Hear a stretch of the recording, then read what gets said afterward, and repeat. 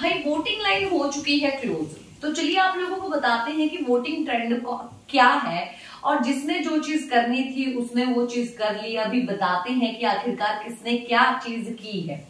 यानी कि voting trend किसने किसको ज़्यादा वोट दे दिए हैं। भाई, दो लोग नॉमिनेट थे, यानी कि आकांक्षा पुरी और पलक।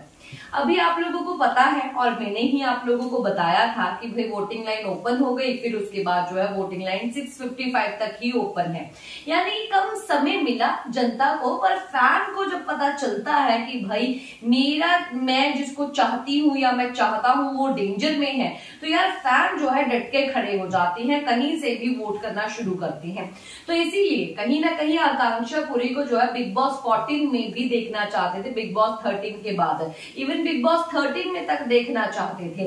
पर अब जो है, लोगों का सपना जो है, आकांक्षा पुरी को लेके अभी पूरा हुआ और वो Bigg Boss OTT season two में पहुँची। इसीलिए जो है, उनको वोट भी जनता ने ज़्यादा दी। पलक से तो ज़्यादा वोट है। तो पहले नंबर पे है आकांक्षा पुरी आकांक्षा और उस, उसी दौरान ही दूसरे नंबर पे है पलक।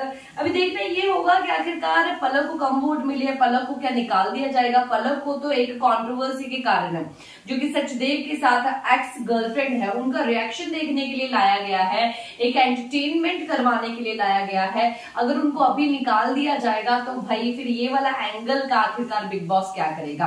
क्या आपको लगता है कि कम वोटों के कारण चली जाएगी पलक? क्या है आपके विचार? बताइए ज़रूर। और आपने किसको की थी वोट?